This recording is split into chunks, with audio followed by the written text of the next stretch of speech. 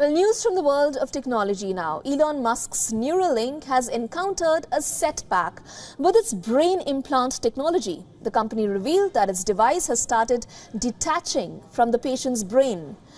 29-year-old Noland Arbaugh was left paralyzed below the shoulder after an unfortunate diving accident.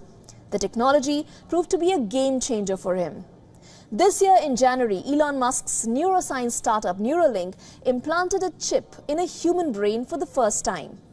After the chip was implanted, Arbaugh was able to play online chess just by using his thoughts. It looked like nothing could go wrong. Until now. Neuralink in a blog post revealed that the threads connecting the implant to the brain have retracted. In other words, the number of active electrodes have reduced. This inhibited the company's ability to measure the implant's speed and accuracy. The company, however, did not disclose why this happened. Neuralink has announced that they have managed to refine the implant and restore its functionality.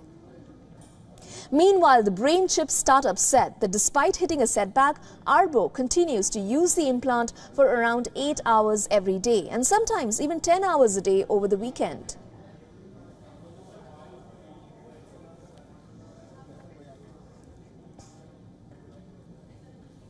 For all the latest news, download the WION app and subscribe to our YouTube channel.